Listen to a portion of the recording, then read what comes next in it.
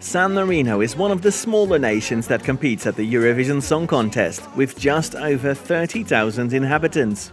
Their first try at the contest was in 2008 with Complice by Miodio, a song in Italian.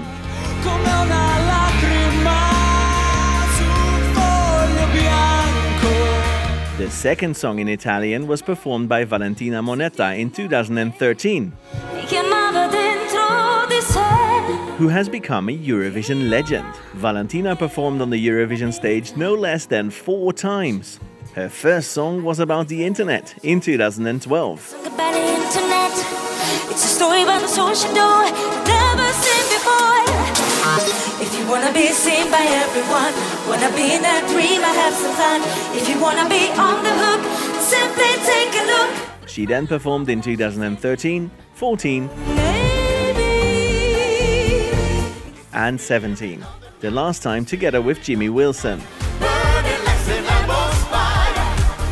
Having artists return to the contest has become somewhat of a trademark for San Marino. Serhat represented the nation for the first time in 2016.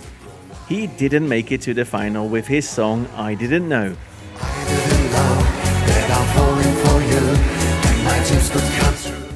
What we do know is that he scored better during the second attempt in 2019, when Say Na Na Na qualified for the final and ended up on 19th place.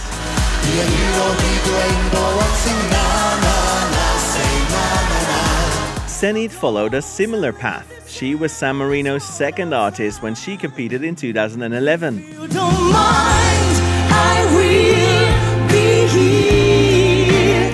Nine years later, she was chosen again, this time with the song Freaky. Unfortunately, the contest was cancelled due to the COVID 19 pandemic. But Senhit got another chance for Eurovision success. Her song Adrenalina, for which she invited American star Flo Rida to join her on stage, became one of the party anthems of 2021.